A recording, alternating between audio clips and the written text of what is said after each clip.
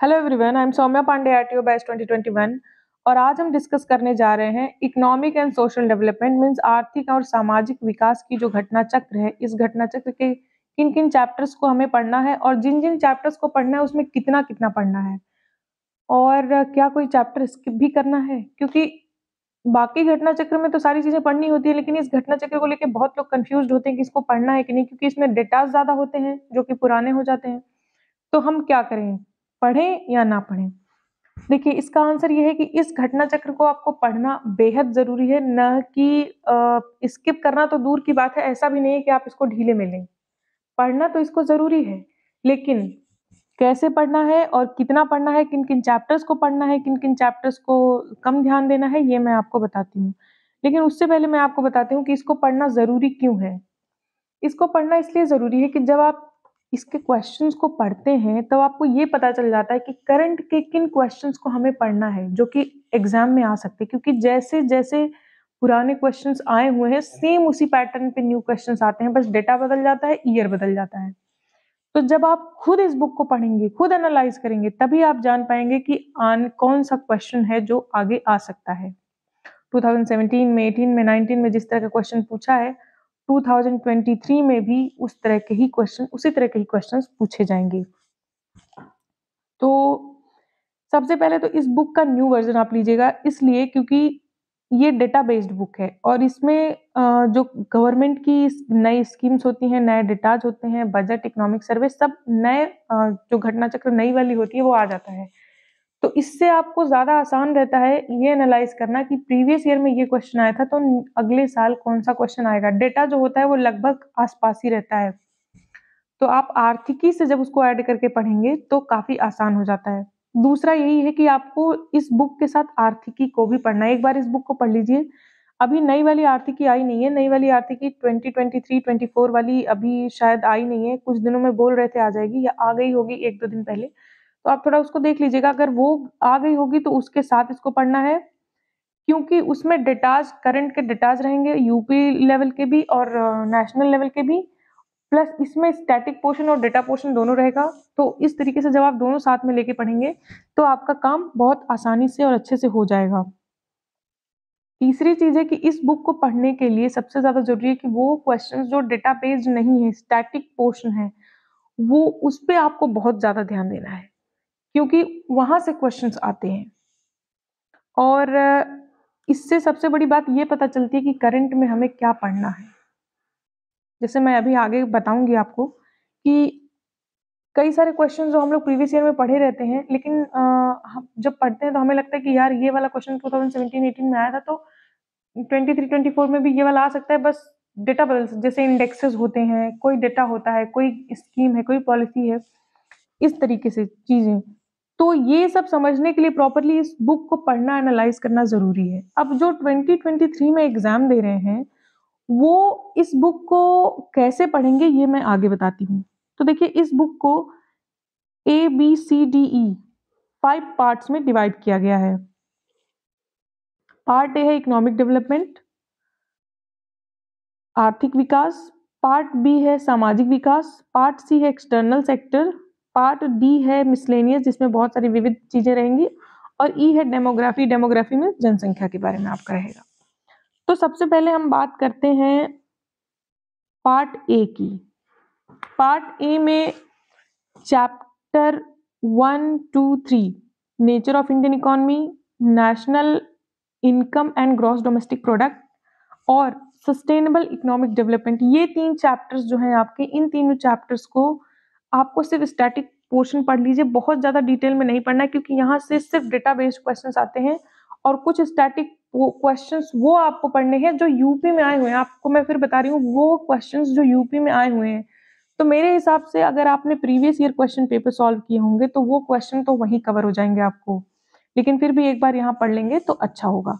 तो ये तीन चैप्टर पहला, दूसरा, तीसरा, ये तीन चैप्टर आपको बस स्टैटिक पोर्शन पढ़ लेना है। Sustainable development sustainable economic development में आपके एसडीजी गोल्स जो हैं एसडीजी गोल्स जो सत्रह गोल्स हैं, वो आपको ज़रूर पढ़ना है। क्योंकि आप 2019 में गोल सिक्स के बारे में पूछा था ट्वेंटी वन में भी किसी एक गोल के बारे में पूछा था, इस तरीके से पूछता रहता है तो आपको गोल्स का याद होना चाहिए। जो चीज़ ज़्यादा न्यूज़ में रहती है वहाँ से पूछ लेता है।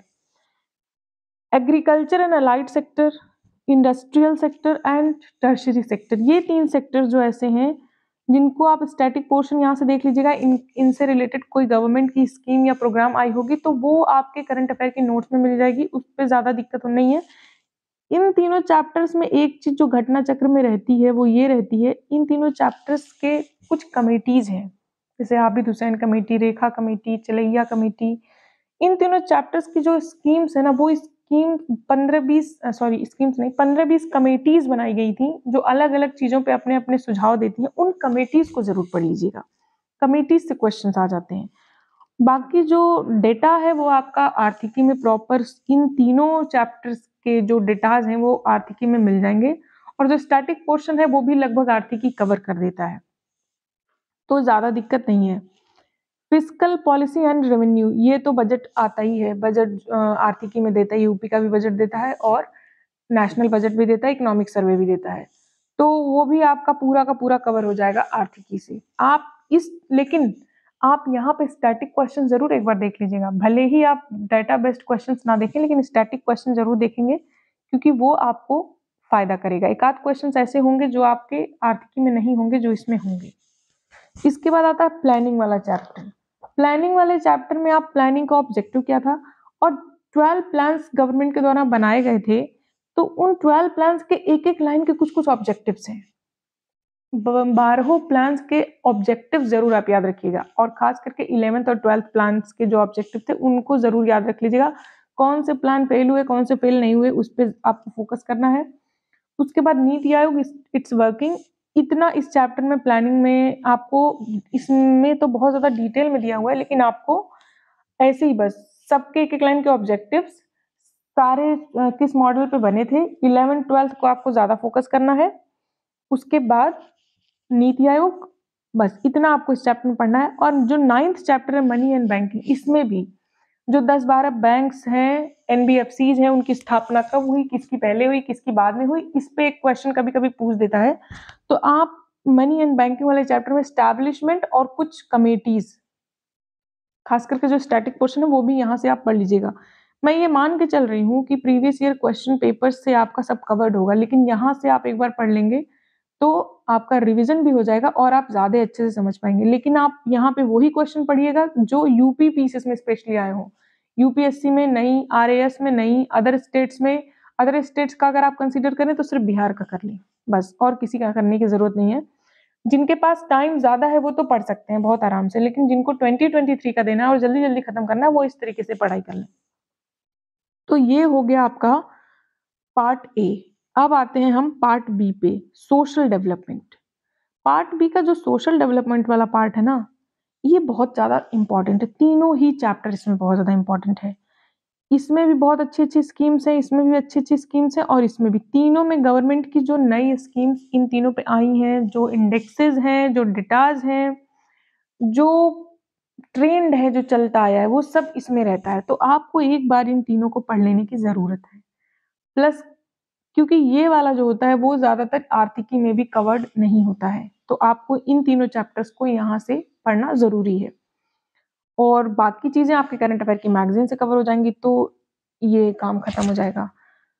um, जो पार्ट सी है एक्सटर्नल सेक्टर एक्सटर्नल सेक्टर में international trade foreign exchange FDI international debt ये दोनों जो हैं ये आपके आर्थिकी से कवर हो जाते हैं। इंटरनेशनल ट्रेड मतलब हमारा किस देश से ट्रेड ज़्यादा हो रहा है किससे कम हो रहा है, किसको हम ज़्यादा एक्सपोर्ट कर रहे हैं, कौन सी वस्तु ज़्यादा एक्सपोर्ट कर रहे हैं, कौन सी वस्तु इंपोर्ट ज़्यादा कर रहे हैं। ज़्यादातर इसमें यही रहता है इंटरनेशनल ट्रेड कितना हमारा ट्रेड में भागीदारी है और कितना हमारी, हम कितना करना चाहते हैं, ये सब। और इसी तरह फॉरेन एक्सचेंज एफडीआई और एक्सटर्नल डेट ये दोनों ज़्यादातर आपका आर्थिकी में कवर हो जाता है। थर्ड पॉइंट जो इंटरनेशनल ऑर्गेनाइजेशन इसमें दस बारह इंटरनेशनल ऑर्गेनाइजेशन होती हैं, जो यू एन यू एन की जो एजेंसीज हैं और कुछ इधर उधर की, वो बहुत इंपॉर्टेंट है। कभी कभी उनकी स्थापना ईयर या स्थापना दिवस पूछ लेता है तो आप इंटरनेशनल ऑर्गेनाइजेशन यहाँ से घटना चक्र से ज़रूर पढ़ लीजिएगा। मिसलेनियस में जिनके पास टाइम है, देखिए मैं फिर कहती हूँ, जिनके पास टाइम है, वो पूरा अच्छे से पढ़ लेंगे। जिनके पास कम टाइम है और इम्पोर्टेंट चीज़ों को मैं यहाँ बता रही हूँ। तो मिसलेनियस में भी पुरानी और नई कुछ कुछ चीज़ें हैं जिनको आप पढ़ सकते हैं और जो यूपी में आए हुए हैं, उनको ज़रूर 2023 का प्रीलिम्स देने वाले लोग यूपी में आए हुए क्वेश्चंस को ज़रूर देख लें। वो भी जो स्टैटिक पोर्शन है, जो डेटाबेस्ड नहीं है। उसके बाद आता है डेमोग्राफी डेमोग्राफी में ये है कि पहले तो डेमोग्राफी से क्वेश्चन बहुत ज़्यादा आते थे। अब देखा गया कि धीरे धीरे डेमोग्राफी से क्वेश्चन कम हो रहे हैं। तो फिर मैं वही कहूँगी कि जो यूपी पीसेस में आ चुके हैं, जो यूपी पीसेस में आ चुके हैं, वो क्वेश्चन यहाँ से देख लीजिएगा। और कहीं आने वाले क्वेश्चन मत देखिएगा, लेकिन यूपी पीसेस में आने वाले क्वेश्चन ज़रूर देख लीजिएगा। आप प्रीवियस ईयर क्वेश्चन पेपर्स अगर सॉल्व नहीं किए होंगे तो जब वहाँ करेंगे तो रिवाइज हो जाएगा। और अगर वो कर चुके होंगे तो यहाँ करेंगे तो दोबारा से रिविजन हो जाएगा। तो इस तरीके से आप डेमोग्राफी पढ़ सकते हैं। अब चलते हैं, हम नीचे चैप्टर वाइज देखते हैं। देखिए, पहला चैप्टर है क्वेश्चन जैसे कि मैंने कहा कि ज़्यादातर जो इकोनॉमिक्स के क्वेश्चन आते हैं, वो डेटा बेस्ड आते हैं, वो करंट अफेयर से ही रिलेटेड आते हैं। आपको स्पेशली कोई बुक पढ़ने की ज़रूरत इसके लिए नहीं है। मैं फिर से कहती हूँ इकोनॉमिक के लिए, आर्थिक और सामाजिक विकास के लिए स्पेशली कोई बुक पढ़ने की ज़रूरत नहीं किसी को बहुत मन है टाइम में पढ़ ले, लेकिन कोई ज़्यादा बुक पढ़ने की ज़रूरत नहीं आप साल भर का अगर करंट अफेयर फॉलो कर रहे हैं तो आपका काम हो जाता है।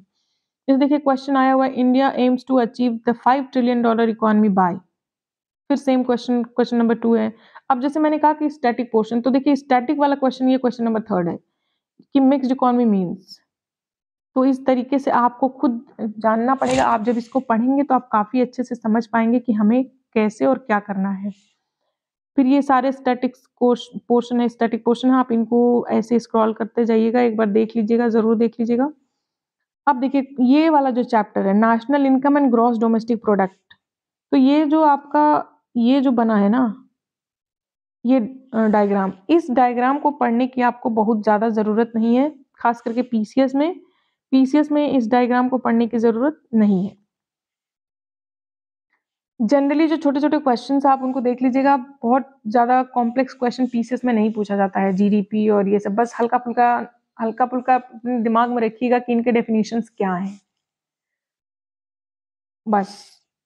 उसके बाद जैसे यहाँ पे जो ज़्यादातर ये वाले ये सब क्वेश्चन है, देखिए इसमें जो क्वेश्चन आए ना I A S I A S I A S BPSC Uttarakhand UP के क्वेश्चन आपको इस चैप्टर में कम दिखेंगे।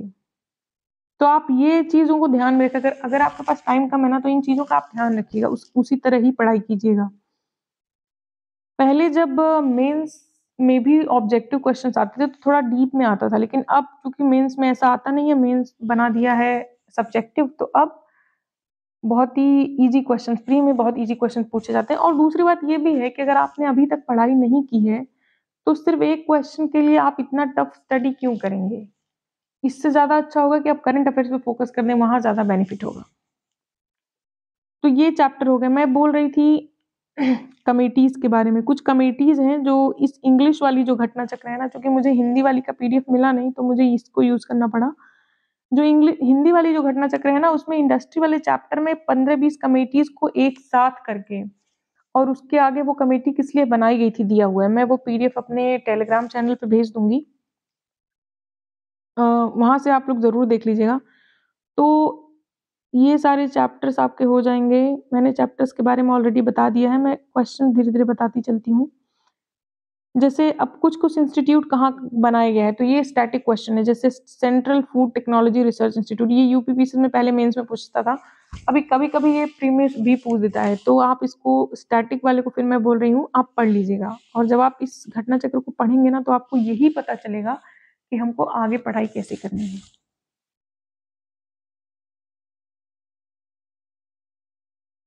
जैसे देखिए, अब इंडस्ट्री वाला चैप्टर है, इसमें हम आपको दो तीन क्वेश्चंस बताते हैं। Which was the first Indian private sector company to find place in global 500 list of fortune magazine ये भी करंट ये भी नीचे वाला जो क्वेश्चन है, ये भी फॉर्चून इंडिया का ही 500 कंपनीज़ जितने करंट में पाँच छः महीने में जो हुए रहते हैं हैपनिंग्स रहती हैं, ज़्यादातर इसमें यही पूछा, जो इंडेक्सेस भी पाँच छः महीने के अंदर आते हैं, जो डेटाज जो बजट इकोनॉमिक सर्वे पाँच छः महीने के अंदर आता है, जो भी गवर्नमेंट की स्कीम्स रहती है पाँच छः महीने के अंदर की, जो बदलाव रहते हैं, वो वही ज़्यादातर इसमें पूछा जाता है।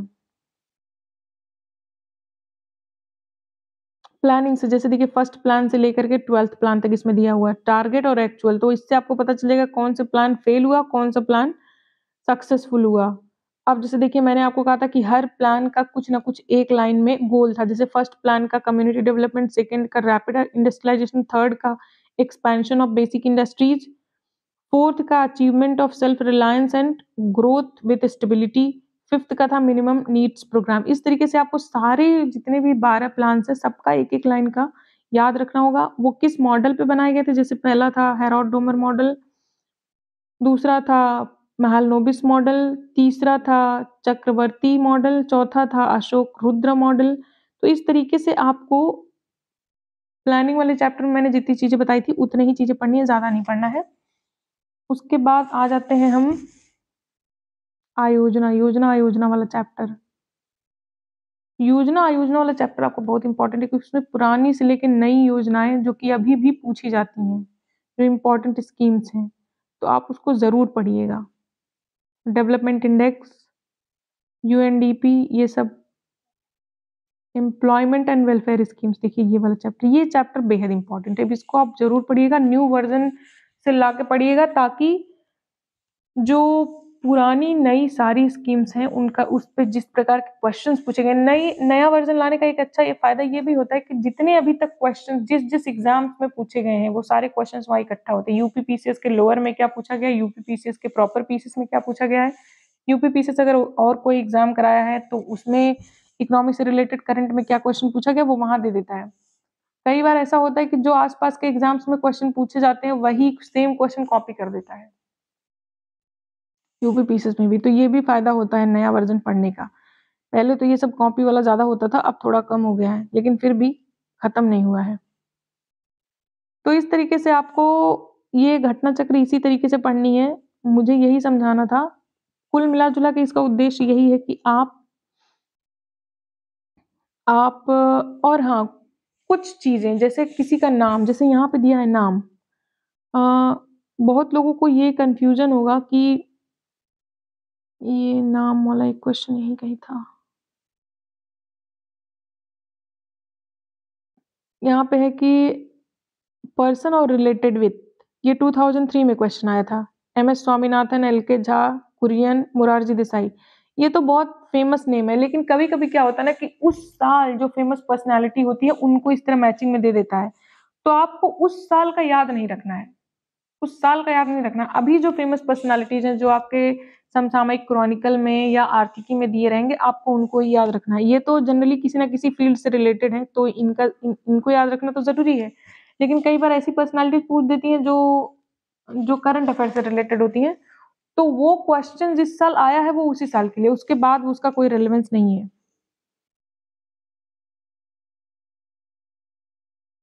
अब जैसे इसमें देखिए कौन कौन सी पॉलिसी कब कब आई नेशनल एग्रीकल्चर पॉलिसी 2000 में आई है। मरीन फिशिंग पॉलिसी 2004 में आई है न्यू फॉरेन ट्रेड पॉलिसी 2014 में आई है सेवेंथ फिनेंस कमीशन 1978 में आया है। ये आपको जानने से, जैसे देखिए यहाँ पे ये चीज़ जो है बिज़नेस वुमेन और कंपनी अभी जो मैं बता रही थी बिज़नेस वुमेन और कंपनी जिया मोदी, अनुराधा देसाई, विल्लू मोरवाला पटेल और मीना कौशिक। ये लोग जो हैं, ये जो है, ये किसी साल, जैसे 2005 आईएएस में क्वेश्चन पूछा है तो आपको पीसीएस वालों को ऐसा नहीं कि ये रटने लग जाए फिर। रटना नहीं आपको। ये उस टाइम की फ़ेमस पर्सनालिटीज रही होंगी। आज के लिए नहीं है ये तो ऐसे आपको रटना नहीं है। जो अभी प्रेजेंट में फ़ेमस होंगे ना, आपको उनको रटना है बस। तो ये घटना चक्र को बताने का मेरा मोटिव यही था।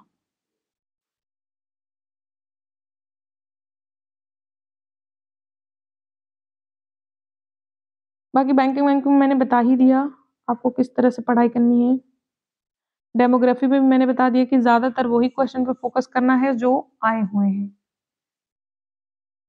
इसके साथ आर्थिकी को आपको ज़रूर पढ़ना है। आर्थिकी स्किप नहीं कर सकते क्योंकि आर्थिकी से ही डायरेक्टली ज़्यादातर क्वेश्चन आते हैं। तो कुल मिला जुला करके आपको स्टैटिक पोर्शन पढ़ लेना है कुछ कुछ चैप्टर्स को बहुत अच्छे से पढ़ लेना है और कुछ कुछ चैप्टर्स के कुछ स्टैटिक क्वेश्चंस और कुछ जो यूपी में आए हुए हैं क्वेश्चंस उनको पढ़ना है। कुल मिला जुला के इसी तरह आपको ये आर्थिकी का पूर्वावलोकन पढ़ना है। मैंने आपको बता दिया। जैसे मान लीजिए कि कोई क्वेश्चन पूछा कि 2017 में कौन सी कंट्री